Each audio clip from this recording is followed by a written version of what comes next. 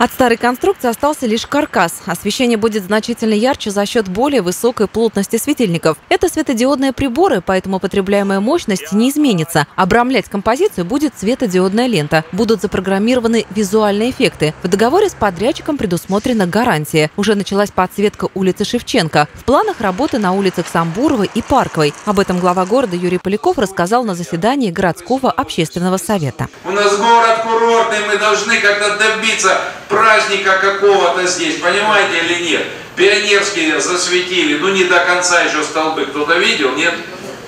Видели? Симферопольское шоссе по-другому переделали, светильники лентами светятся красиво. Занимаемся всем этим.